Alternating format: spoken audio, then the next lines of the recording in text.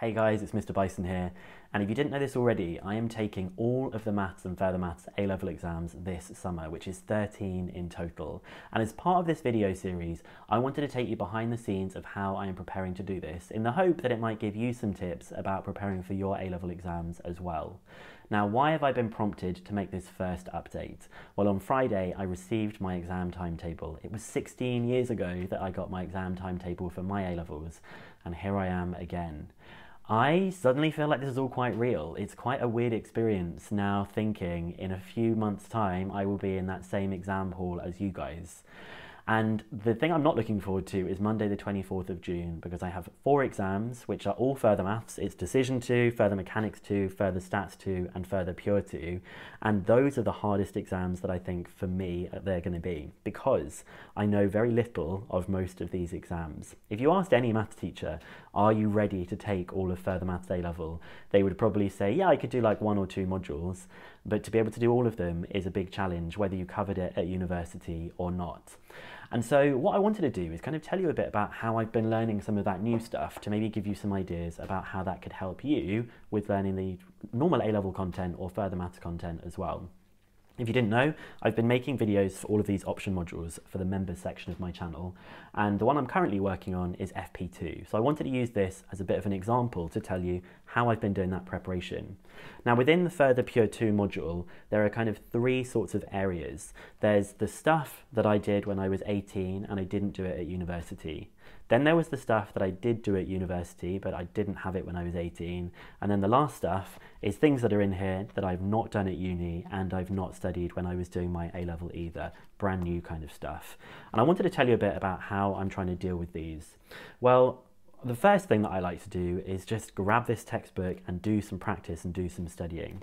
So you can see me here, I've taken this textbook and my laptop to Manchester Central Library, having recently moved here from East London, and I'm literally just doing a lot of practice. I'm reading through the examples, I'm trying some of the questions from the exercises, and then I'm also using my laptop to make the slides at the same time, because we all know there's that discrepancy between how the textbook is written and how questions get asked in the exam. So every time that I'm looking at exam questions in the textbook, I'm always trying to make sure that the slides I'm making for my members are perfectly matching what you could be assessed, because I want things to be sort of the best possible way for you learning that. And then what I've also been doing to kind of tackle some of the things from this book that are in my university notes is going to my university notes, looking back at them and saying, okay, how did I learn this part of number theory or group theory? Is there anything that's in my university notes that will improve on the explanations that are given in this textbook? And there are. There are some really important differences between how things are explained here and how I've done things previously at university. And then I guess the last part of this is thinking of the things that I don't know at all. And I guess those kind of covered that. I'm just learning them and, and really thinking through it quite deeply. When I talk about thinking deeply, it's interesting for the stuff that I don't know about at all, how my brain is trying to process that process that new information. I'm not sure if anyone's ever experienced this as well, but like before I go to bed, I've maybe had like a long maths day, done a bit of relaxing and chilling out in the evening, and I close my eyes with the lights off, and my brain like switches on and is like thinking about all of the new math stuff that I've been learning about.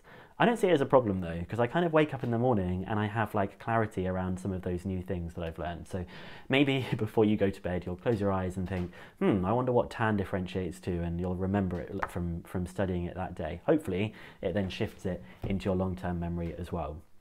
So I also wanted to give you a bit of a behind the scenes of me making some of those videos. You can see me there with my iPad, sort of scribbling away with my Apple Pencil, and I've got my microphone there. And this isn't something I realized I did, but having filmed myself, I've noticed I do a lot of like looking up and gesticulating with my hands and explaining to, to some kind of imaginary student rather than actually just to myself in a room.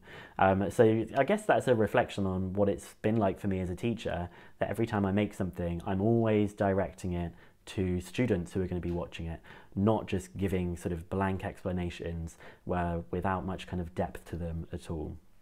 And then when I get to the end of a module, so once I, once I finish all of FP2, I will be making an everything you need to memorize sort of document, one of those big A3 pages that summarizes the whole module. I've recently just done one of those for Further Stats 1, which has been shared with the members on my channel, but for non-members, there's obviously all of the normal maths ones. For pure stats, and mechanics, and also core pure for further maths year one and further maths year two as well. The reason I like that is it just kind of allows me to see all of the module in one place makes me think I really have learned everything that's there, that there's nothing kind of missing that I need to remember about. That makes me feel like really reassured when I'm studying that I've kind of got that all in one single place. Now, this has been challenging because I've been trying to juggle making all of this new content alongside other things. Um, I have been visiting schools. I went to a school in North London last week to run some exam sessions for them. Um, and I've also been preparing some of my own slides and sort of lessons that I'm going to be teaching over the February half term. Um, if you're interested in joining any of those classes in the February half term, I've got one on differentiation, one on trigonometry, and one on exponentials. The slides are great. I'm really pleased with what I've prepared. So if you're interested in joining those sessions, do have a look in the description for a link to the Bicen Maths box office to get tickets for it. Um, and then I guess probably the biggest challenge, which is the one I didn't really want to talk about because it's me not having taken on my advice that I would have given to a student, is to make sure that you are revising things that you have not looked at for a while. So a while back I made videos for Decision 1, one of the further maths modules, and there are parts of it that I can't really remember how to do some of it. At the time, it made so much sense to me. I was really pleased with the videos that I made. And now when I look at things about some of the algorithms, I can't quite remember the order of how things should go. So this is sort of me documenting this and saying, Mr. Bicen, make sure you go back and actually look at previous things. Take your own advice because that will make me feel a lot stronger in decision. It's also just a really interesting idea that teachers, we always tell our students what to do, and now I'm having to take my own advice and finding challenges in that. It's making me a bit more appreciative of the things that you must go through at school with so many teachers telling you how to do this, how to do that, and, and really it's quite tough to take all that advice on board. Um, and so, yeah, really, just let me know what else you want to see from me in this series of these updates. If there's anything that you think actually that would be fantastic to know how you do this. Could you show us more detail with that? Please please put it in the comments because i read all of those comments and i would love to take on board any of those suggestions as well. So whether I see you as a member on the channel for my options videos, whether I see you in one of my February half term classes, or perhaps in the future for some of my revision classes in the build up to the summer exams, or whether you're just here as a regular subscriber Thank you so much for supporting my channel. I'm so grateful for everybody that comes and supports me. And I wish you all of the best of luck with your exams. And I will see you in another update soon.